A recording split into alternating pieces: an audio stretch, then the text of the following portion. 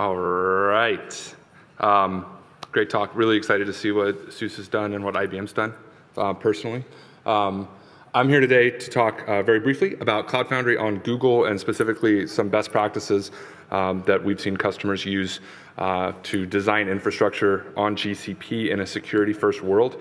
So I'm going to give you five facts in five minutes. My name is Evan Brown. I lead a team of uh, dedicated engineers at Google that build the CPI for GCE, the service broker, um, a, a, nozzle for Cloud Foundry to Firehose, um, as well as a few other things. It's what we do 100% of the time. I've been involved in this project for about three years now. First best practice uh, is to isolate network control with shared VPC. So is anyone using shared VPC on GCE today? Cool. no one is. But you will be soon. That's wonderful. Um, the idea behind shared VPC is, is fairly simple. It's to isolate uh, control of uh, networking components by separating them into different projects. Very simply, uh, this means that in project B, all of your network constructs like uh, subnetworks, firewall rules, and routes uh, are uh, they exist in that context. And VMs that are deployed for Foundation exist in a separate project and this allows network operators to control the network infrastructure and the Cloud Foundry or platform operators to do their deployment in a separate project. Fact the second is to isolate services with private load balancers. GCE supports uh, a layer 4 uh, TCP private load balancer uh, that we recommend using in front of services like UAA, CredHub, or Cloud Controller and GoRouter. The third fact, managed database uh, with private IP only. Cloud SQL, uh, which supports MySQL and Postgres engines, um, allows you to reserve IP addresses in your RFC 1918 space inside your subnetwork in a shared VPC. So private only connectivity to a fully managed database with failovers, automated backups, um, and customizable maintenance windows.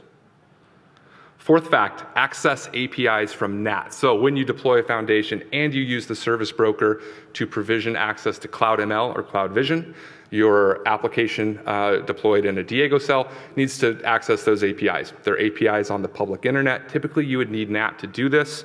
Uh, there's a checkbox called private access. So in a subnetwork inside your VPC, you enable private access and you magically have access to Google APIs, all Google APIs, including Maps, um, without needing public IP addresses on your Diego cells and without needing NAT. So it's a, a nice quick way to access those services uh, with very little or zero overhead. But in the event that you do need uh, traditional NAT for outbound access, this morning we announced uh, CloudNAT in beta today. Uh, CloudNAT is a little bit different than what you've seen from other providers. It's not a VM-based solution.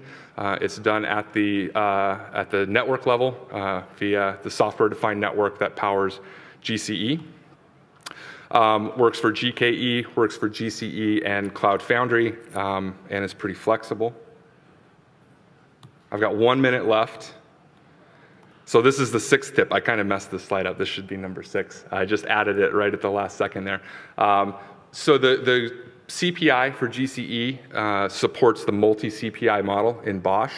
And so maybe a bit more esoteric, but if you're uh, especially um, security focused, you can use the multi-CPI model to uh, provision multiple GCE, uh, GCP CPIs on a BOSH director and use each of those CPIs to deploy a different component to a different project. And what this allows you to do is to uh, restrict credentials or service account credentials for, say, UAA to uh, one particular project and isolate those credentials for CredHub to a different project and then yet a different project or a third project for your other uh, foundational services like the router and the cloud controller or Diego. Um, we've got several customers that use this, this model today. Uh, fair, uh, relatively recent support for multi-CPI, but um, it, it, does kind of blend well with the, uh, the tight security model. So um, thanks everyone. We've had a great time here. Uh, our booth, we have a lot of socks left, so if you're in need of socks, um, please come collect some socks because I do not want to drag them back home to Seattle. Thanks everyone.